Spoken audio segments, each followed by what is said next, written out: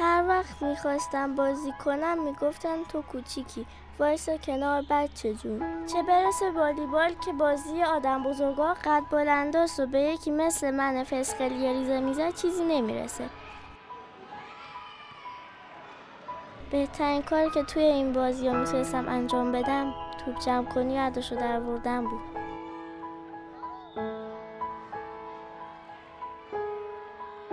تازه از خودشونم بهتر ادا در می آوردن.